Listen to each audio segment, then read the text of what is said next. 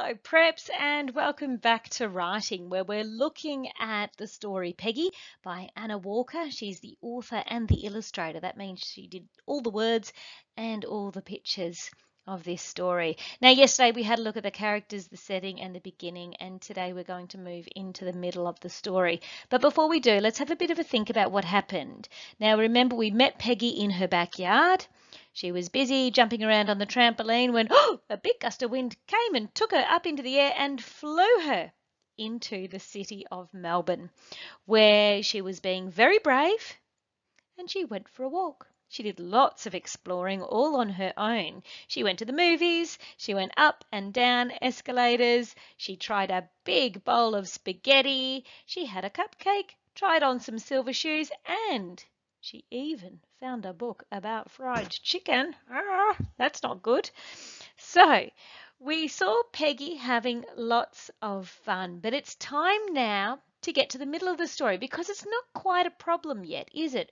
Sure, she got blown into the city, she wasn't planning on it, but she's not unhappy. Our main character, Peggy, is not sad about being in the city. Or is she? Let's find out what happens in the middle of the story.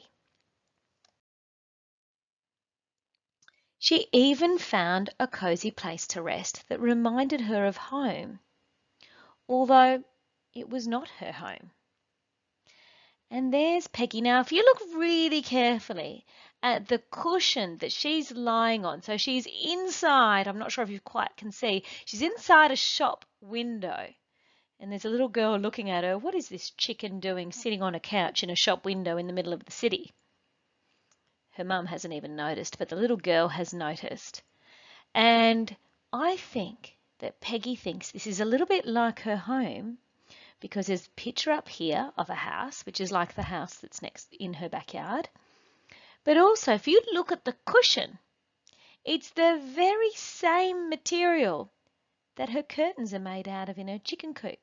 So she probably saw that cushion and thought, oh, I forgot how much I love my home. I miss my home. And I think she might be feeling a little bit homesick. Have you ever felt like that too?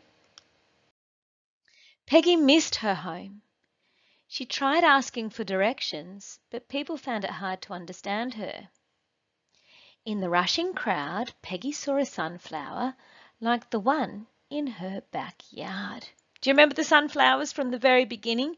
She was the um her chicken coop was the only house where there were sunflowers. In the very beginning scene, all the other houses didn't have any sunflowers, but Peggy's had sunflowers and it had her special friends, the pigeons. And so she sees some sunflowers. It's reminding her of home. She's thinking, oh, I want to go back. So she follows the sunflowers. She followed the sunflower. The sunflower sat down, so Peggy sat down too. Outside began moving. They were speeding away from the tall buildings. When Peggy looked around, the sunflower was gone. So Peggy's ended up following the person with the sunflowers. She's not noticing the person, she's only noticing the sunflowers and she's followed that person onto a train. She sat, did you see where she was sitting? She was sitting on an older man's head, uh, looking at the sunflowers as the train got going, and the train was going pretty fast. Outside began moving. They were speeding away from the tall buildings. So this is another part of the setting. We've had the home, we've had the big city buildings, and now we've got the train. And Peggy is following the girl now because the girl hops off the train. Although Peggy's not noticing that girl, Peggy notices the sunflowers get off the train and so she must go and follow them. She doesn't know what else to do to get home. Peggy hopped out of the train, but the sunflower was gone.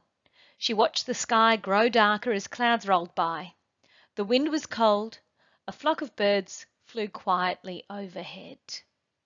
It was the pigeons. Ah, this is big. This is huge. Because Peggy knows the pigeons. They're her friends. They hang around her house and she likes to watch them. So this is a great sign. Now there's something familiar to her. She lost the flower, but now she's found the pigeons. Maybe she'll be able to get home. So this is where we're going to finish the problem.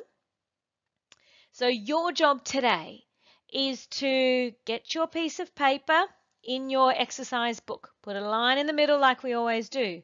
Draw a picture on the top part of Peggy following the girl with the sunflower, the sunflowers, onto the train and heading home because Peggy is homesick. She's got a real problem. She wants to go home. She had fun in the city, but she wants to go home now and she does not know how to go home.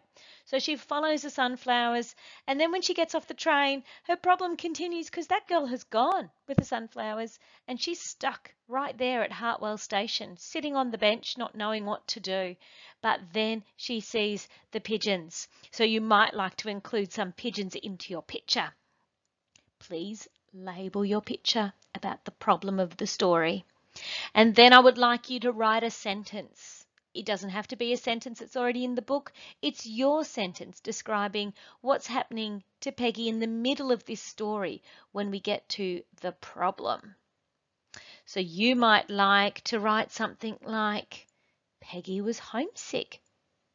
She followed flowers onto a train. Something simple like that. You don't have to tell me every single bit, just the main parts of the problem. All right, preps, I'll see you tomorrow when we look at the ending.